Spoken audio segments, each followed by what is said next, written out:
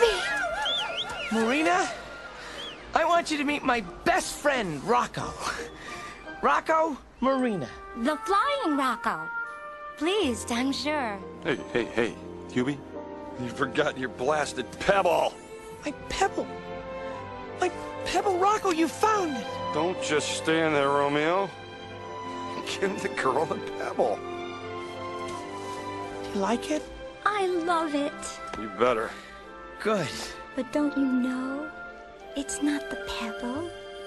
It's the penguin. I love you even more.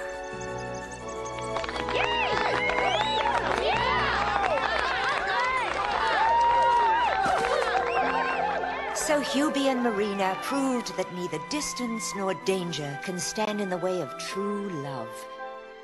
You need only follow your heart. And goodness glaciers, they lived happily ever after.